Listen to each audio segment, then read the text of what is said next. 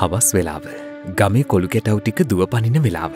මාවාතට නොගෙන ආ මම සරුංගලයක්. ඉතින් මාවාතට නොගෙන උන්ටික කියේ නැහැ වෙල්දෙනියට රැහැනකින් හිරවුනාට මොකද? ගම වටේ ලස්සන විතරක් නෙවෙයි රට වටේ ලස්සනතු මම දැක්කා. මේ එක දෙයක් කියන්නම් මම මුලින්ම. හුළඟට කියන්න මාව තදින් අල්ලගන්න කියලා. නැත්නම් ලස්සන දේවල් දැක්කම මටත් හිතෙනවා කඩාගෙන යන්න. තැනක නෙඩුම් පිරිචාරි ලස්සන විලක්. ඇයි ගොයම් පීදෙන රන්මන් කෙත මම වගේම හුලකට වැලුණා. ඒ විතරක් නම් මොකද අහසින්න අතරේ මගේ කුලක අය නිතර නිතර හම්බුණා.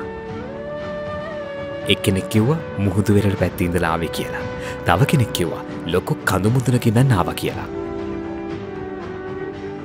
ආමේ පහුගේ දවසක ට්‍රෝන කැමරාවක් ලංකාව ගැන කියපු කතාව මම අහගෙන එයා තරම් හැම තැනකටම යන්න බැරිවුණාට එච්චර තාක්ෂණයක් නැතිවුණාට මට හිතුණා මේ රටේ ලස්සන අපි දෙන්නට එක විදියට දැනෙනවා කියලා. අපි දෙන්නට විතරක් වෙන්න කොහොමද ඔයාලටත් ඒ ලස්සන ඒ විදියටම දැනෙන්න ඕනි. සරුංකල් ආස හසින්න මට හිතුනා ඔයාල හිතන්න හෙමයි කියලා. නෑ මමාසයි බිමට එන්න.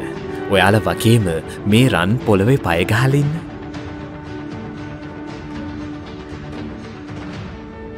ඉතින් ඉක්මනට බිමට ගන්න.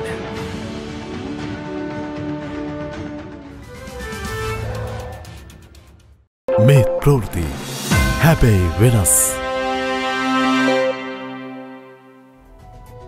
මෙවැනි වැදගත් පුවත් නැරඹීම සඳහා ශ්‍රද්ධා TV නිවස් YouTube චැනලය සබස්ක්‍රයිබ් කර සීනුව සලකුණ වන්න.